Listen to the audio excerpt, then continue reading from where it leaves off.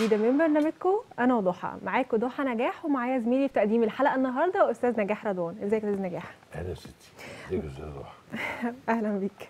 معانا النهارده ضيفنا في الحلقة دكتور علي ضاحي رئيس الإدارة المركزية لشؤون قطاع المتاحف الفنية والأثرية وخبير كشف تزوير الآثار. إزيك يا دكتور علي؟ أهلا وسهلا بحضرتك وكل المشاهدين. مشرفنا النهارده في الحلقة. شرفنا. يا دكتور علي. الشرف ليا يا فندم. والله أنا عايز أسأل سؤال هو الحالي اللي موجود. تمام. هل اثرت كورونا بالفعل على القطاع السياحي وعلى الناتج السياحي؟ خصوصا في حال معظم الدول الأجنبية اللي بتيجي تعمل سياحة عندنا قفلت مطاراتها ولا ما زالت شغالة؟ لا هي طبعا صراحة يعني. لا هي طبعا أثرت بشكل كبير لكن إحنا ك- كمصر آه، عندنا بدايل كويسة للأمور. وبالنسبة لقطاع السياحة المناطق الأثرية وال- والمتاحف بقى في إقبال شديد من المصريين نفسهم عليه. فبدأنا نعمل سياحة داخلية ورواج كبير جدا وعندنا أرقام كبيرة الفترات اللي فاتت يعني. مم. وده نتيجة لأن الوزارة بدأت تسعى إنها تعمل وعي كبير لل- للناس الفترات ال- اللي فاتت يعني. وده ملحوظ هل تعم عمل كتيبات للمواطن المصري لمعرفة أماكن السياحة بتاعته في بلده أعتقد إن ده معمول وبشكل واسع دلوقتي لأن إحنا بنهتم قوي بإن المصريين نفسهم يعرفوا تاريخهم وحضارتهم ويحققوا فعلا الانتماء لل- للبلد في الفترات اللي جاية. لا sorry معلش أنا أقصد إيه؟ brochureات أيوه. دي تعمل أو brochureات موقع حضرتك. على النت والسوشيال ميديا. آه طبعا. اللي أنا عارف إن في الحتة دي في آه، متحف. متحف. ده موجود حضرتك والوزاره ليها موقع. والمتاحف نفسها بيتعمل لها صفحات وبيبقى في تواصل مباشر كمان مع الجمهور. ورسالة المتاحف كمان دلوقتي ما بقتش مجرد إن إحنا بنحفظ فيها مقتنيات بس لأ آه. ده في تفاعل مع البيئة المحيطة بيها والجمهور اللي ممكن يزورها وأنشطة كتير مختلفة يعني. ممتاز. بمناسبة المتاحف الجديدة اللي اتعملت آه، قريب آه، هو المتحف المصري الكبير. ده من أضخم المتاحف في العالم. ده حقيقي. آه، وموعد افتتاحه عمل ضجة كبيرة الفترة اللي فاتت. فكنا عايزين نعرف موعد افتتاحه هيبقى إمتى بالظبط قاعاته مقتنياته هيبقى عبارة عن إيه بالظبط؟ هو طبعا المتحف هيضم آه، كم كبير جدا من المقتنيات الأثرية يعني قد يصل ل ألف قطعة أثرية مم. آه، من آه، البري هيستوري من ما قبل التاريخ لغاية آه، نهاية العصر اليوناني الروماني مم. وقاعاته هتنقسم ما بين الفترات التاريخية م- اللي بنتكلم عنها دي مم. ال- الدولة القديمة والدولة الوسطى والدولة الحديثة العصر المتأخر اليوناني الروماني آه، بشكل مم. أساسي آه، في المقتنيات الخاصة بتوت عنخ آمون مم. هتبقى حاجات من من المصدر اللي موجودة مم. عندنا ال- الجراند التماثيل الكبيرة جدا اللي موجودة في ال- في المتحف ومساحته تم نقل فعلا التماثيل من ال- الأقصر وأسوان في المتحف الكبير اللي هي التماثيل العملاقة حضرتك تم نقل ال- الآثار المتحف ده. بشكل كبير جدا آه. آه، من أماكن مختلفة مش من الأقصر ومن أسوان بس آه أنا كنت لسه اسال حضرتك مقتنياته هل هي من أماكن أخرى ولا تم اكتشافها جديد ولا هما الاثنين مع بعض؟ شوف حضرتك اولا هو كان في ضمن سيناريو العرض المتحفي بتاعه مقتنيات موجودة آه، في المخازن المتحفية والمخازن الأثرية وناتج البعثات والحفاير. ومؤخرا طبعا نظرا لإن ال- الوزارة بف- بفضل ربنا اولا مم. ثم فريق العمل الحمد لله في اكتشافات كتيرة آه بقيادة الدكتور مصطفى وزيري الأمين عام مجلس الآثار مم. بعثات مصرية خالصة اكتشفت قطع أثرية في سقارة وتونة الجبل وأماكن كتير متفرقة آه آه، بكم كبير لا وكمان نوعيات مختلفة ما ظهرتش قبل كده تمام يعني فده بيتم. تدعيم طبعا كل المتاحف بشكل عام صرف. والمتحف المصري الكبير بشكل. خاص آه طيب آه كنا بنتكلم عن حلم الثراء السريع بالنسبة للناس اللي دايما بتنقب عن الآثار آه وبتحاول تبحث عنها تحت البيت بقى في بيت جاري في الدوار اللي جنبي وكلهم بيحلموا إن هم يبيعوا القطع اللي هيلاقوها عشان يبقوا أغنى ناس في الكوكب. آه طبعا. فإزاي الوزارة بتتعامل مع الحاجات دي؟ بس أنا عايز أضيف حاجة بس. آه. اتفضل. أنا آسف قبل السؤال لا، اتفضل. يعني. ده يهمني أنا شخصيا تمام. هل المتحف المصري الكبير تم تدشين له حملة إعلامية عالمية كاملة. وأنت عارف طبعا هيبقى فيه وفود عالمية كتيرة. مم. فهل تم ليه تدشين حملة إعلانية كاملة للتنفيذ لهذا الافتتاح؟ لأن ممكن يوم يوم الافتتاح مش افتتاح عادي. لا ده هيبقى افتتاح سياحي. وحدث العالم كله لا ما أقصدش حضرتك. هو ما أقصدش إن الوفود الرسمية بس اللي هتحضر لا طبعا. ترويج. ده كمان الافتتاح هيجي شعبيا من كذا دولة حضرتك وهيستمر الأيام طويلة موضوع الافتتاح مش هيبقى مجرد يوم وخلاص مم. علشان يبقى في أكبر قدر من الناس تقدر تزور المتحف في الاحتفالية بتاعه الاحت... الاف- ال- الافتتاح بتاعه مم. فطبعا ما يعني اتعمل حسابه بشكل كبير وبشكل أساسي خاصة إن إحنا كنا هنفتتحه الفترة اللي فاتت وتم التأجيل مم. فإحنا يعني جاهزين إن شاء الله للافتتاح يعني في خلال فترة أنا آسف. معلش يعني بالنسبة للترويج السياحي ليه. هل تم أو هيكون في discount من خلال وزارة الطيران من خلال وزارة السياحة من أسلوب الترويج ليه عشان الترويج. عشان تشد عشان الناس تجذبه إن هم. يدخلوا شوف حضرتك آه، على الأقل الفترة دي آه حضرتك الموضوع ده تم وبالتنسيق مع كل الجهات. المتخصصة في. الموضوع ده وشركات التسويق السياحي. وده بيتم بشكل أساسي مش في افتتاح المتحف المصري الكبير بس لا في كل المتاحف والزيارات اللي موجودة مم. لكن في المتحف المصري الكبير الموضوع ده اخذ اهتمام كبير جدا أنا أقصد ده حدث. جلل يعني فعايز علشان اهتمام يتم أكبر إحنا عشان كده الموضوع آه. تم تأجيله علشان يتم بالشكل الأمثل وفي الوقت الأنسب مم. لافتتاح المتحف المصري الكبير كحدث كل الدنيا منتظراه بالظبط اتفضلي سؤالي عشان كان يهمني حتة الإعلام دي آه لأن هي. فعلا اللي هت... هت... يعني هتكبر موضوع الاحتفال بالنسبة لناس كتيرة بره الدولة إن هم تجذبهم ليه حضرتك تقدري تتأكدي من المعلومة دي. آه، في كل الاكتشافات اللي تمت الفترة اللي فاتت وإزاي وزارة الآثار كانت بتعمل تغطية إعلامية. آه، للاكتشافات دي وما كانش ده بيحصل آه، بالشكل اللي موجود حاليا حاليا والنهاردة كل حاجة بقت الدنيا عارفاها وإحنا مش بنخبي حاجة على أي. حد المسألة. ال- لا ده أنا عايز أظهرها. عفوا. أيوة. آه بالظبط. يعني بقى في آه، دلوقتي الموضوع ده بقى الكونسيبت بتاع وزارة الآثار. إزاي إن الناس الناس كلها تعرف ال- إحنا. بنشتغل في إيه وبنكتشف إيه وإزاي يعني نرجع لحضارتنا مرة تانية. بالظبط. ده مهم وأساسي. نرجع بقى للسؤال التاني هقول له حضرتك تاني. آه، حلم الثراء السريع بالنسبة للناس اللي بتبحث وبتنقب عن الآثار في المحيط اللي حواليها سواء كان فين بالظبط هم بيبقى في دماغهم إن هم عايزين يغتنوا بأكبر قدر ممكن. فمش هيبلغوا عن اللي هم بيلاقوه. فإزاي الوزارة بتتعامل مع الموضوع ده؟ إزاي بتقدر آه، تكشفه وفي نفس الوقت تحاول تسترجع الحاجات دي؟ وليه مش بتحاول تلاقي حلول بحيث الناس تبلغ عن الموضوع ده بنفسها؟ طيب يعني خليني أقول لحضرتك إن الموضوع ده من الموضوعات المهمة جدا اللي لازم الناس يبقى عندها فكرة كويسة آه، إن هو كده بي- بيلعب في آثاره وحضارته وتاريخه. الموضوع ده مهم قوي النهارده حلم الثراء السريع خلى الناس تحفر تحت بيوتها ويقابلوا بعض تحت البيوت دي حاجة أنفاق. آه أنفاق. ده حقيقي والله. يعني أنا أنا أذكر إن أنا نزلت قضية مرة في قنا. كان حفر خلسه وجيران متخانقين مع بعض. اتقابلوا تحت البيت. وكان حصل بينهم مشادة. اتقابلوا في أنهي بيت بقى؟ ولا عند السور؟ الفكرة بس في إن هم بيبحثوا عن إن. هم يلاقوا حاجة والأرقام الفلكية اللي الناس بتتكلم بالظبط. عنها. هو مش هيفرق معاهم التاريخ. مش فارق معاهم ده. إن هو فارق معاه يبقى هو غني بأي حال من الأحوال. مم. وده خلى كتير جدا من النصابين يبقى يجدوا أرض خصبة مم. في يشتغلوا فيها. في تزوير زي ما بيقولوا في كده. تزوير الآثار. طبعا. زي ما بيقولوا كده طالما الطماع موجود فالنصاب بخير. هما بيلعبوا على الحتة دي. ويبدأ بقى يجي لحضرتك ويقول لك إن تحت البيت بتاعك فيه آه، حاجات ما ينفعش إن هي تخرج.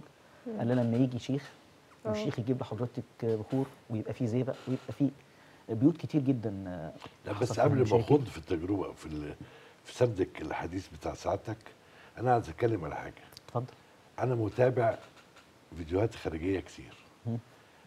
أنا اللي بيلقى مم. عبارة عن زهرية ملهاش قيمة بس بالنسبة له أثرية. هناك أثرية مم. بيبلغ بما يعادل وزارة الاثار عندنا وتيجي تحفر معاه. بيلاقاها بياخد مكافآت رهيبة. ليه بقى حضرتك؟ معلش. أنا بعتبر نفسي لقيت الشيء ده.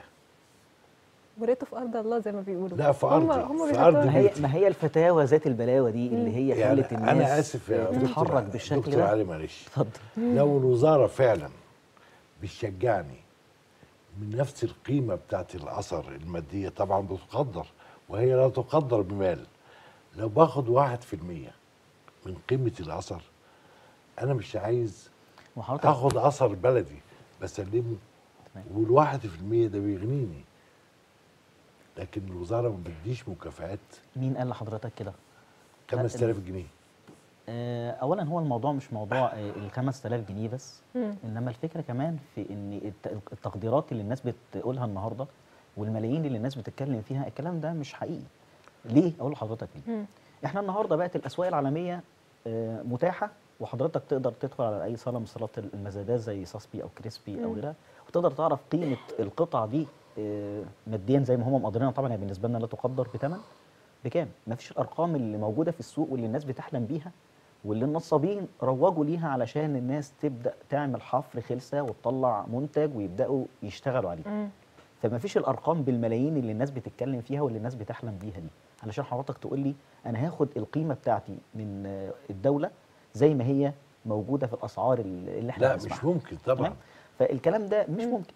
لكن أنا بقول لك القيمة أنت بتحددها هي كوزارة. الفكرة في حثهم إن هم بس يبلغوا خدت مكافأة. بالمقابل. هم بيحلموا بإن هم يبقوا أغنياء. ومش مش, مش لاقي ياكل. أنا مش هديله حضرتك مم. المقابل اللي هو بيحلم بيه. لا طبعا. أكيد لا. إنما هي الفكرة فكرة رمزية. أيوه بالظبط. والرمزية دي موجودة علشان خاطر إحنا نقدر نحافظ على مقدرات بلدنا واللي منها الأثار. مم. واللي هي مش ملك الأفراد العاديين إنما هي ملك بالظبط. للدولة.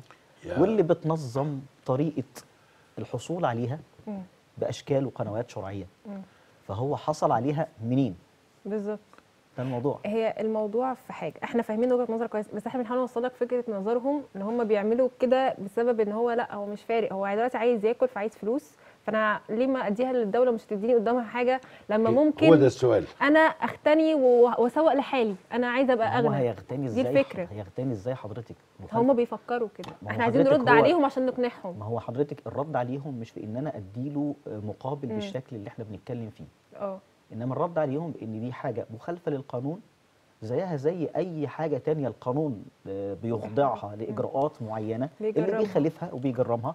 اللي بيخالفها لازم يعاقب بالظبط ده الموضوع عشان كده إحنا يعني بقى في تجفيف للمنابع مم. وبدأت حفر خلسة مم. يبقى جناية بعد ما كان جنحة لأن تجفيف المنابع الأصلية مم. اللي هي الحفر خلسة ده الأساس اللي الناس بتجيب منه بيتعاقب عليها بإيه وعلى حسب ولا ال- العقوبات.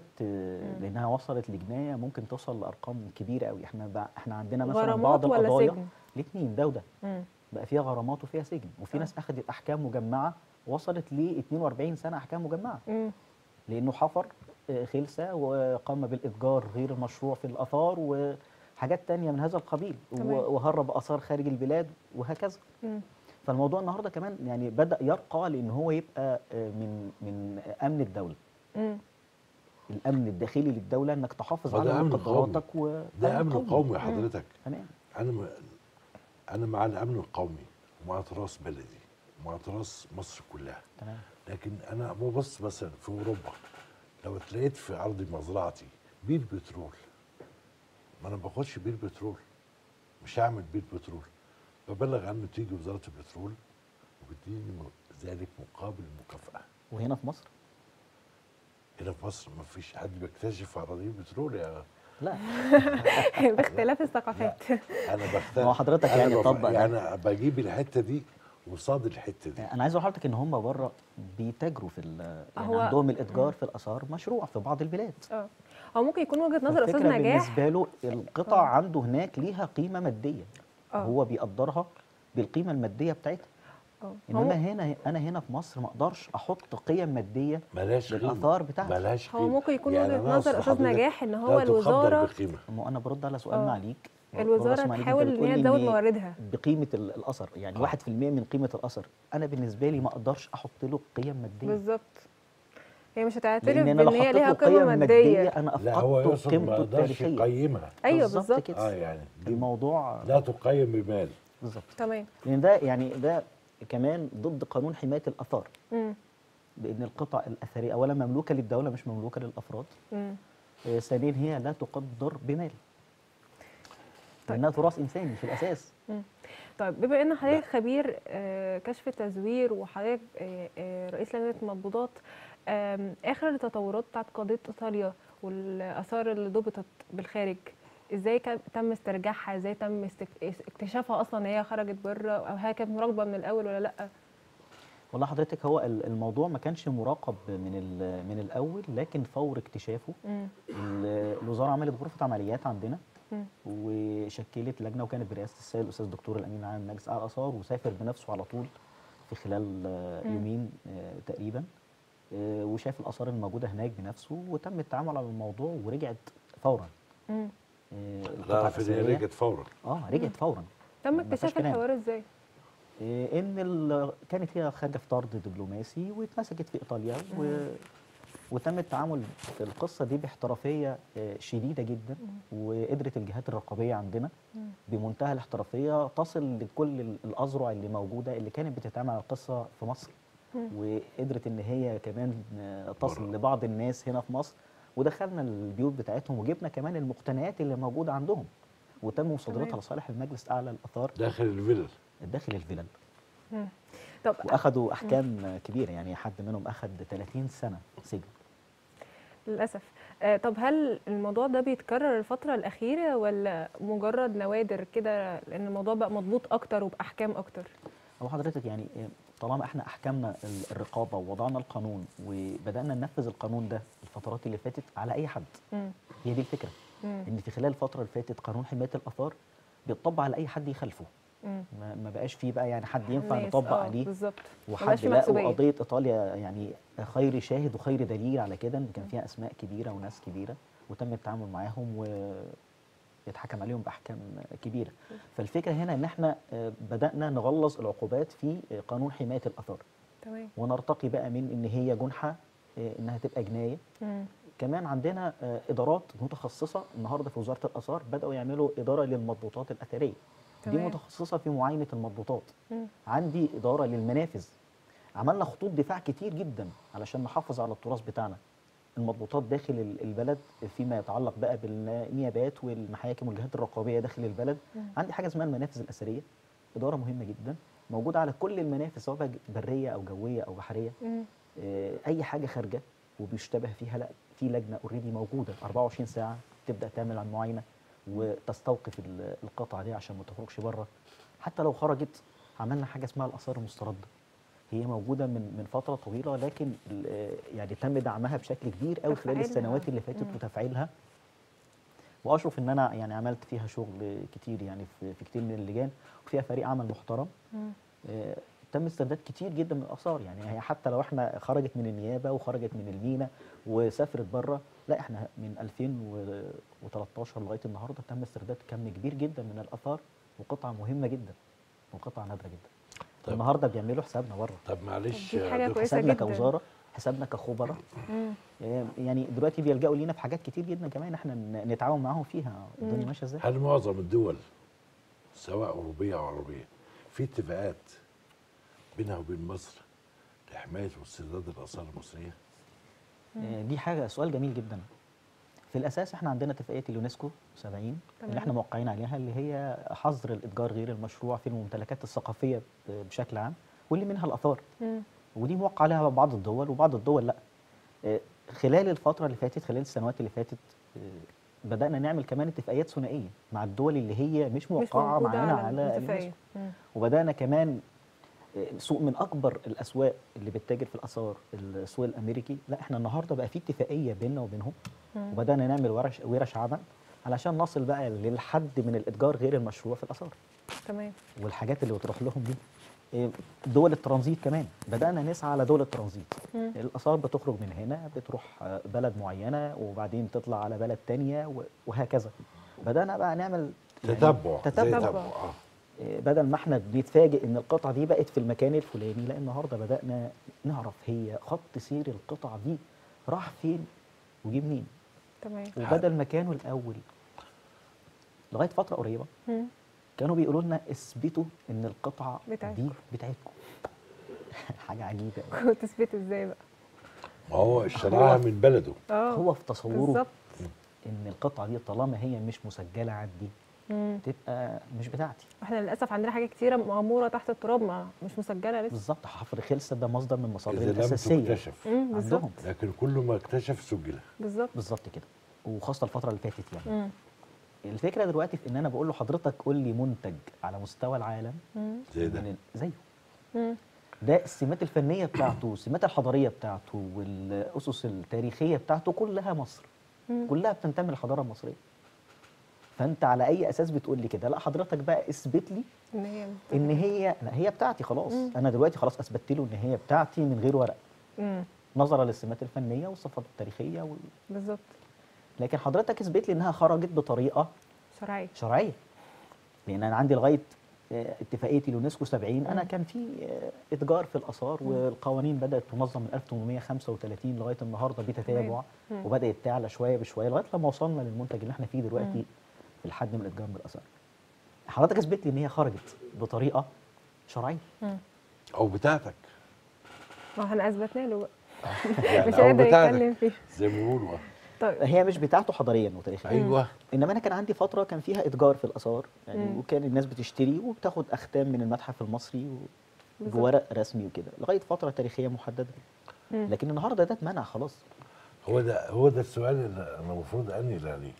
هل القطاع الخاص له الحق في عمل معارض أو إقامة معارض دولية لحساب وز- وزاره الأثار؟ والله إحنا آه، دلوقتي سعينا في إن آه، وعملنا تجربة مع القطاع الخاص إن إحنا نعمل ده داخليا. آه. إن إحنا نعمل نتكلم ده خارجيا. داخليا. ما أنا بقول أنا لحضرتك. كنت هسأل حضرتك يعني- عن حاجة آه. تكميلية برضو للسؤال ان هو هل ال- ال- الوزارة المصرية بيتم التواصل مع المتاحف الخارجية زي اللوفر إن هي تعرض م- ال- المقتنيات بتاعتنا بره عندهم وترجعها تاني ولا كله داخلي بس واللي عايز يجي يشوف هنا لا طبعا لأن already في. حاجات وسيلة- مصرية وفرعونية هناك لا دي وسيلة من وسائل الترويج بالظبط. اللي هي المعارض الخارجية مم. وعملنا تجارب ناجحة كتير الفترة اللي فاتت زي توت عنخ آمون آه،. في أمريكا وفي وفي لندن وفي أماكن كتير جدا آه، الفكرة دي فكرة ترويجية بشكل أساسي مم. واللي مش قادر إن هو يجي النهارده فإحنا بنروح له لغاية عنده بالظبط فيبدأ بقى يشوف آثارنا ويشوف ال- الحضارة المصرية عاملة إزاي ويبدأ يفكر إن هو يجي مصر فده بشكل أساسي موجود ومتاح ده ده تعاملات دول واتفاقات دول. آه، أنا بتكلم كقطاع بالنسبة خاص. للقطاع بالنسبة للقطاع الخاص آه. يعني إحنا دلوقتي ده عشان خاطر حق ال- الملكية أيوة. الفكرية مم. أصيل لوزارة الآثار لأن. هي صاحبة ال- ال- المنتج الأصلي فده بيتعمل من خلال وزارة الآثار بس بالتنسيق معاها هي تمام. يعني ممكن شركة شركة خاصة. معارض شركة- ممكن آه، شركه معارض آه. شركة معارض هتعمل اتفاق وبرضه أنا ما بتعاملش مع أفراد أو مم. أشخاص شركة كيان إنما كيان هيتعامل مع آه، جامعة زي هالدربيرج على سبيل المثال تمام. أي جامعة تاني هيبدأ بقى الاتفاق يبقى ما بين مؤسسات بالظبط مش ما بين أشخاص مم. لكن ممكن القطاع الخاص يدخل يعمل آه، التمويل لل- للموضوع ده مم. ويشرف عليه سبونسر سبونسر. آه. للمعرض نفسه. للمعرض. طيب نطلع فاصل ونرجع نكمل كلام.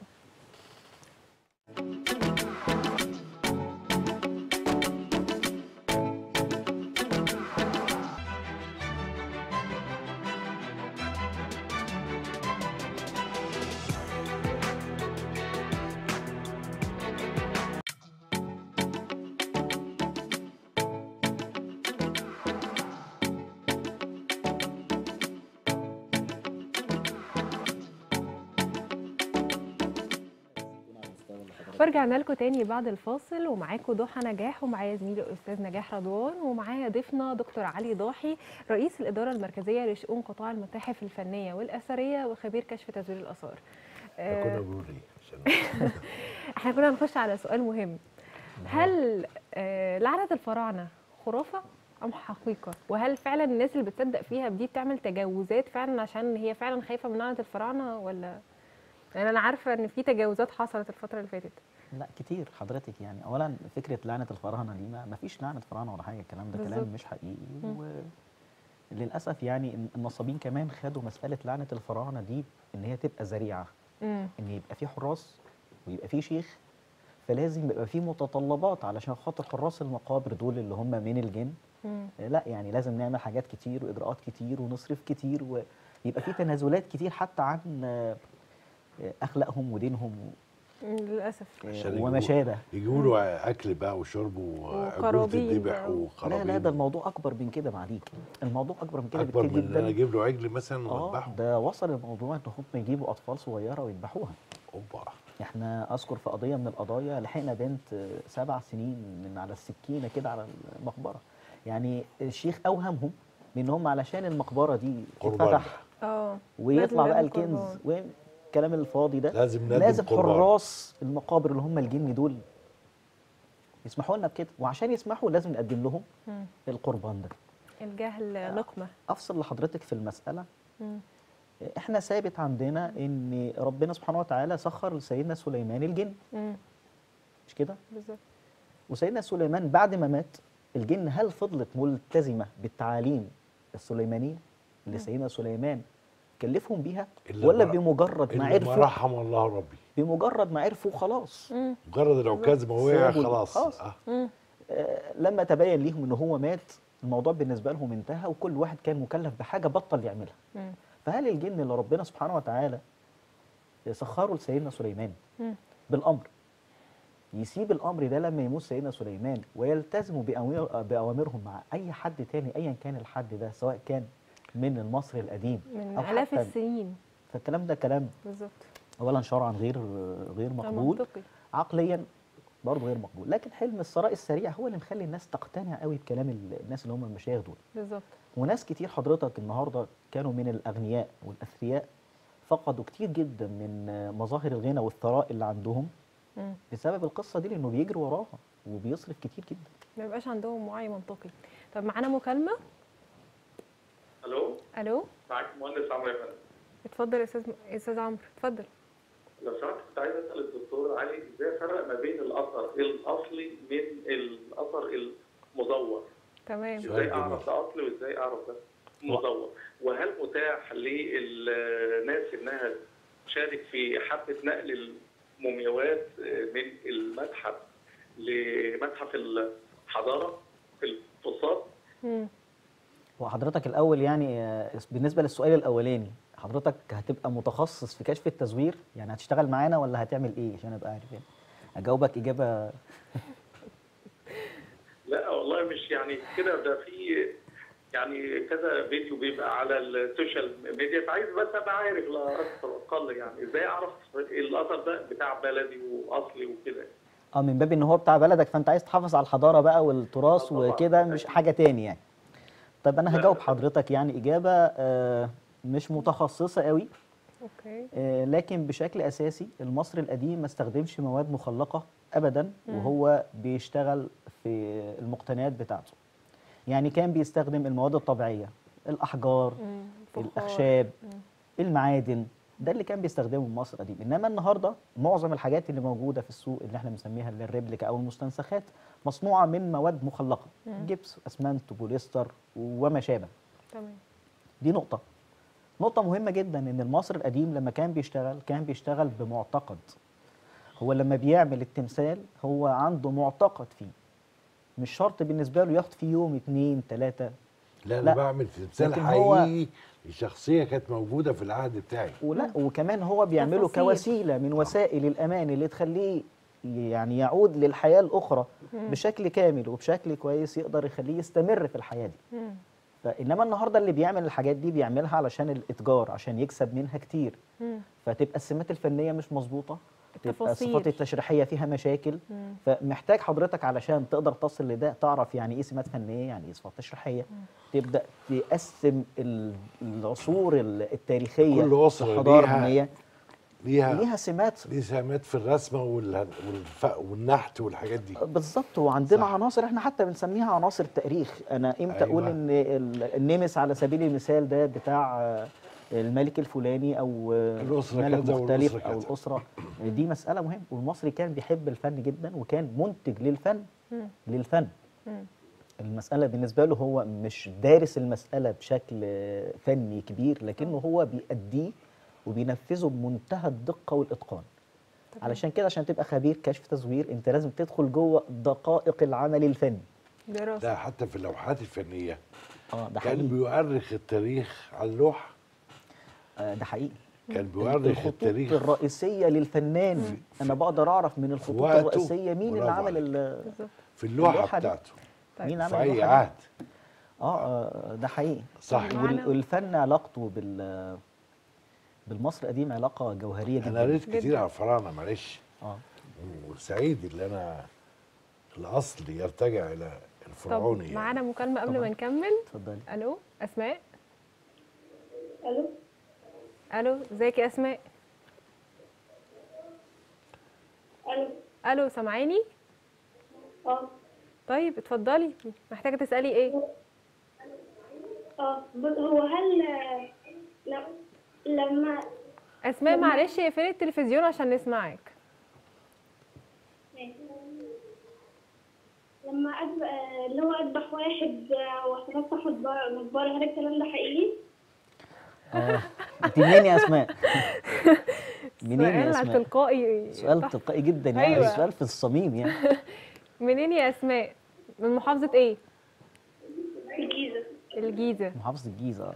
تمام ماشي يا أسماء شكرا هجاوبك على ربنا السؤال يخلي لك اولادك يا رب اتفضل جاوب على السؤال هي نفس الفكرة حضرتك إن هو. آه هو هي نفس الفكرة إن النصابين واللي بيسموا نفسهم مشايخ للأسف بيوهموا الناس البسطاء جدا إن هو علشان يصل إلى الكنز بتاعه لازم يبقى فيه دم. لا أنت لاحظت في لا مؤاخذه يا دكتور علي؟ يذبحوا أولاده؟ لا طبيعي كده.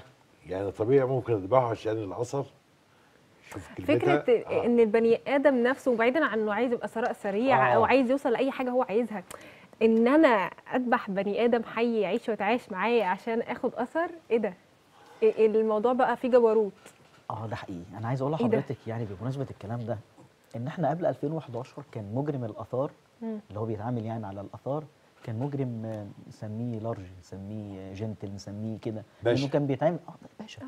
فكان بيتعامل على الآثار كآثار إنما النهارده إحنا من بعد 2011 جرائم الآثار بقت مرتبطة بسلاح. مرتبطة بمخدرات آه مرتبطة بدعارة مرتبطة ببعض مرتبطة بغسل أموال حاجات كتيرة جدا. النهارده. بقت على هامش آه، الآثار. ولذلك إحنا الأول كانت بتبقى آه، القضية إداري جنحة آه، لكن بنلاقي القضية بادئة بجناية على طول. ليه؟ لأن هي معاها حاجات تانية جناية. النفس البشرية دمرت بطريقة مش طبيعية. للأسف. فعلا فعلا. للأسف يعني. يعني أنا تجرأت حتى في فكري إن أنا أفكر إن أنا أذبح بني آدم علشان آخد فلوس. يعني ليه؟ لا. لا هو المعتقد. هو معتقد إن هو مش معتقد. ياخد 100 جنيه. حتى لو ملايين بس هي- لا، لا، قتل نفس. هو معتقد إن هو مليار واثنين وثلاثه وأربعة. أنا الموضوع ده غير منطقي بالمرة بالنسبة لي. ما هو الموضوع خارج نطاق المنطق. أيوة. أصلا. نهائي. هقول لحضرتك على واقعة لحد من وكان من المشاهير في في الدلتا وراجل من الأثرياء جدا مجموعة من الشباب قالوا إحنا عايزين نأجر عندك مزرعة. أجروا المزرعة دي لمدة سنة قبل انتهاء السنة. مم. آه، كلموه إحنا لقينا حفرة في الأرض فمش عارفين نتصرف إزاي مم. فجه شاف الحفرة حد منهم قال له أنا أنا حاسس إن الموضوع ده فيه كنز وفيه فيه خير. كبير وفيه وفيه آه. وفيه بدأ يتكلم عن كده أنا عندي واحد شيخ آه، هاته فبدأ يجيب الشيخ وبدأ يقول له إحنا لو حفرنا بعد متر هنلاقي كذا لو حفرنا بعد 3 متر منه هنلاقي كذا مم. والشباب بدأوا طبعا هم كتير هم ثمانيه بدأوا يحفروا ويلاقوا الحاجات اللي الراجل ده قال عليها. مم. ومع كل حاجة هم بيلاقوها الراجل ده بيفقد جزء من المنطق ومن العقل بتاعه. طبعا. ويبدأ يتعامل. مع الموضوع بشكل مختلف تماما. في حلم قلبه في حلم الرفاهية بقى. قلبه وعقله بقى جوه الحفرة اللي هم داخلينها دي. وبعد ما عمل كل الكلام ده وبدأ ينزل ويشوف ال-. ولقى فيه خيارات كتير جدا والشيخ ده يقول له العيال دي أنت حضرتك هتتعامل معاها يعني مين دول قرايبك؟ لا مش قرايبي. طب إزاي يشاركوك في كل الخير ده؟ مش الأرض دي بتاعتك؟ راضيهم بأي حاجة وسيبهم يمشوا. رضاهم ب 10 مليون جنيه. رضاهم. ليه؟ لأنه قال له دول هيجيبوا لنا 3 مليار دولار. مم. 10 مليون جنيه بالنسبة ل 3 مليار دولار. ولا حاجة. بالظبط. فادالهم ال 10 مليون جنيه. والعيال مشيت وفضل معاه مولانا. كده دلوقتي. مولانا عم الشيخ عم الشيخ إيه بقى؟ ضحى بالراجل بتاع كانوا المزرعة؟ حاطين الحاجات قبل كده مسبقا يعني الأولاد دول السنة اللي هم اخذوا فيها المزرعة حفروا تحت الأرض وبنوا أوضتين من داخل بعض وعملوا جدران من الفايبر آه، كتابات بقى هيروغليفية أو شبه هيروغليفية وكده. وبدأوا يحطوا تماثيل مضروبة في الأرض. وهو بقى اللي اكتشف المقبرة ودخل وفتح بنفسه. فالمساله حتى كمان ما بقتش مع الناس اللي هم البسطاء بس لا ده كمان انت بتدفع 10 مليون جنيه كده. ما أنا. مستني مليار يا. دكتور علي. فانت محتاج إيه تاني؟ يعني قد حق البلد عليك. حقيقي الجهل نقمة. نطلع فاصل ونرجع تاني.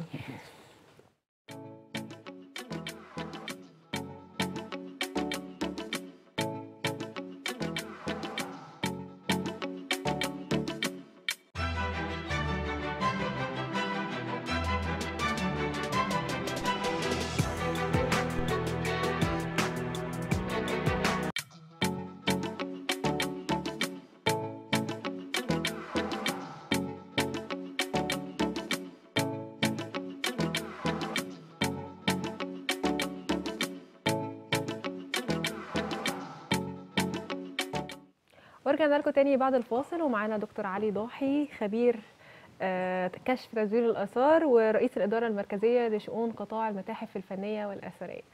آه، دكتور علي آه، بمناسبة القطاع الخاص وإن الوزا- الوزارة بتاعة الآثار والسياحة دلوقتي بتتعاون معاهم بشكل خاص إن هي تعمل متاحف جديدة إيه آخر المتاحف اللي اتعملت في المحافظات الموجودة؟ وهل لاق- لاقت رواج ولا لأ؟ اولا آه، آه، سياده الوزير يعني بفكره ال- آه، الكبير جدا الفترة اللي فاتت هو وفريق العمل كله يعني.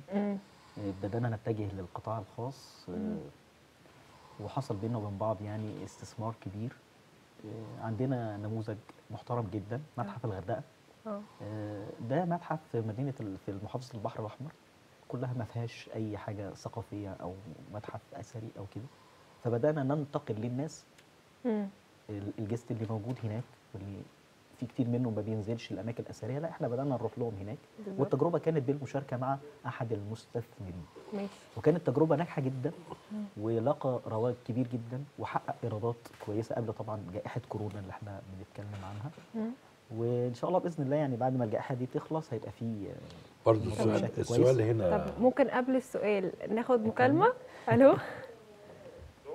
ألو اتفضل. السلام عليكم. وعليكم السلام. أنا والله اسمي علي من سوهاج يعني. أيوه اتفضل يا أستاذ علي. أهلا وسهلا بكم. والله أنا بنتكلم على نفس الموضوع اللي اتكلموا عليه حاليا عندنا في سوهاج هنا من من أيام كورونا كده بالظبط يعني. تمام. الفترة الأولانية بتاعت كورونا طبعا حصل البرك على منازل الناس وعلى شقق الناس. مم. وزي ما بيقول الأستاذ المحترم اللي عندك ده تبييض أموال هيبيعوا بيوت الناس اللي باركين عليها. وهتكون الشرطة عارفة الكلام ده عارف الكلام.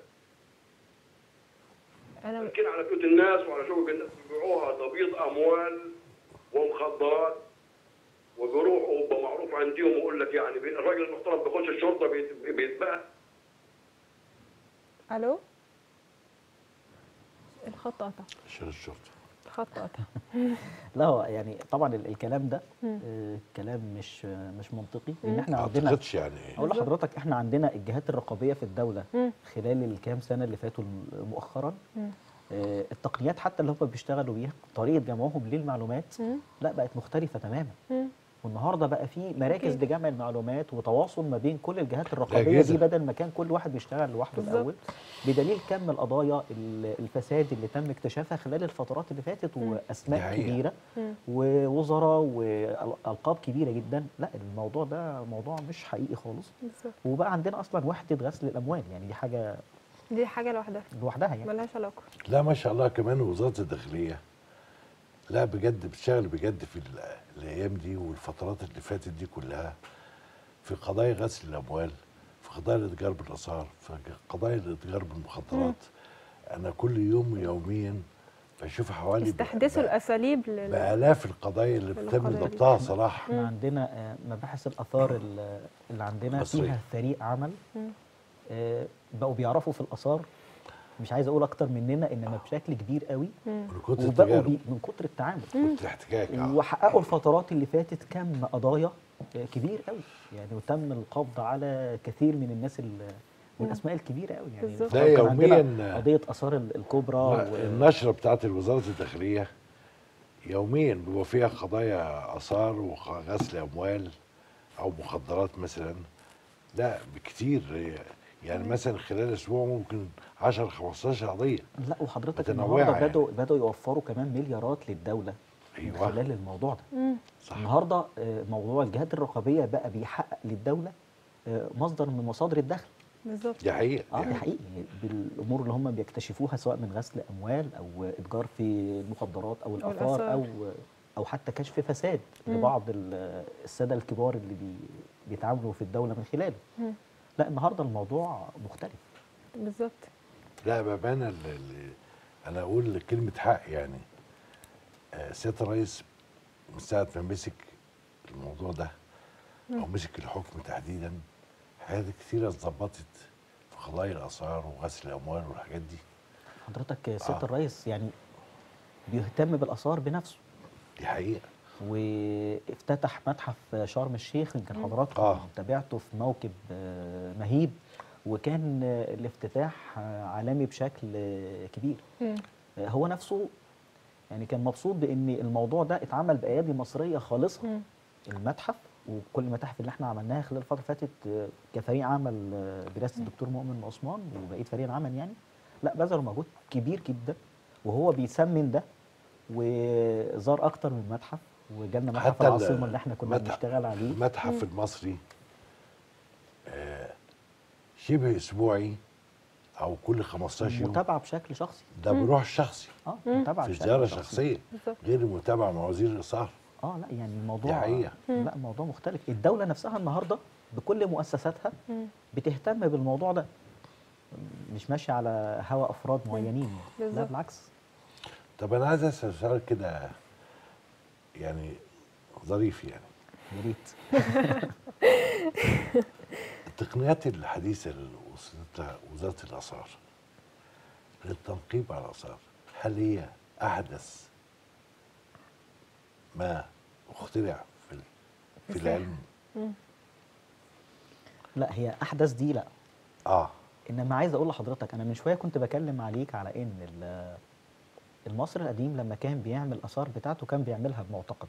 تمام كده النهارده فريق العمل اللي بيشتغل في البعثات والحفاير المصري الخالص برضه بيشتغل بمعتقد مم.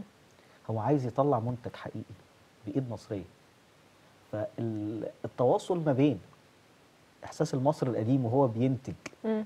المقتنيات بتاعته وإحساس المصري القديم واعتقاده والمصري الجديد النهارده ومعتقده في ان هو يوصل إلى ما أنتجه أحفاده مم. لا ده في يعني جدوده. بشكل آه. آه. أجداده آسف آه إيه ده تواصل آه، نقدر نقول إن هو معنوي بشكل كبير مم. مش بتقنيات حديثة ولا حاجة لا بالعكس فريق العمل بيشتغل بحاجات كتير يدوية لكن وصل لمنتجات أو وصل لمنتج من القطع الأثرية والمقتنيات اللي موجودة ما حصلتش عند كتير جدا من البعثات الأجنبية اللي موجودة ومعاها أحدث التقنيات يعني بيشتغل زي ما بيقولوا إيه بالإمكانيات المتاحة. بامكانياته الامكانيات المتاحة. لكن روحه موجودة. هو ده الموضوع. هو بالظبط ده الموضوع. لتحقيق- الناس اللي بيشتغلوا اولا كم ساعات العمل؟ كبير جدا. المجهود اللي بيبذلوه كبير جدا. بالظبط. ونظرا لأن الإمكانيات اللي عنده آه، أقل كتير من من ناس تانية. لكن هو بيطوع الإمكانيات اللي عنده دي عشان يرتقي ويصل للمنتج والإكتشافات الكتير اللي إحنا وصلنا لها خلال 2020 من أول 2018 طيب. لغاية آه، النهارده؟ وصلنا لك كم اكتشاف يا دكتور علي؟ لا كتير. أنا ما مش هعددهم بس هم كتير. طب دكتور علي. عشان الحلقة خلاص يعتبر فاضل دقيقة على الختام إيه أحسن حاجة نختم بيها؟ المشاريع المستقبلية لافتتاح المتا... افتتاح المتاحف الجديدة للتنقيب عن الآثار. إيه هي الخطة المستقبلية لوزارة الآثار والسياحة؟ اولا بالنسبة لوزارة الأثار إحنا بنسعى إن إحنا نزود كمان ال- المتاحف مش هنكتفي باللي تم افتتاحه. مم. لا إحنا النهارده بنعمل متاحف إقليمية في أماكن كتير أنا عندي ثلاث متاحف عشان تجاوب قبل ما تخلص الحلقة. بالظبط. وسط المتاحف اللي أنت بتتكلم عليها يا سعادتك أيوه. أنا عندي قصر محمد علي في السويس. تمام. وعندي. الكنيسة اليونانية. ودي أنتوا كوزارة انضمت ليكوا رسمي لأن هي اثر مؤخرا. أيوه. مؤخرا. مؤخرا فعلا. آه. إن عدت ال 100 سنة. تمام. وعندك بيت المساجيري عندنا برضه في السويس. تمام. قصر محمد علي ده كان يدار منه معظم التجارات ما بين مصر وبين حوض البحر الأحمر واليمن والكلام ده والسعودية والحاجات دي. فعلا الكنيسة اليونانية دي فيها كم من الزخارف اليونانيه الرهيبة. تنفع متاحف مش متحف واحد. يعني إجابة عايزين إجابة بقى عشان هي بجد الحلقة خلصت. آه. إجابة في الصميم قصيرة. لا في الصميم أيوه. إحنا كوزارة آثار النهارده بدأنا نهتم بالقصور اللي حضرتك بتتكلم عليها وبنحاول إن إحنا نستثمرها بشكل كبير قوي يعني ويمكن قصر البارون نموذج من النماذج اللي إحنا بنتكلم. عليها.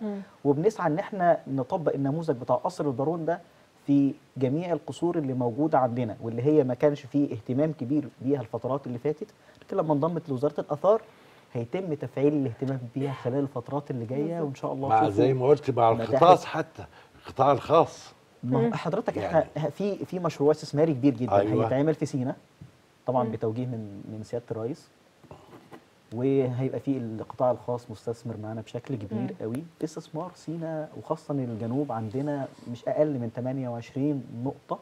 تراثية ينفع إن إحنا نستثمرها وفريدين فيها جدا حتى عن آه. الأردن وعن ال- السعودية اللي بيسعوا إن هم يعملوا آه، مدينة نيوم مثلا وحاجات هو للأسف. الكلام خدنا جدا وقت حلقتنا خلص ونورتنا النهارده جدا في الحلقة.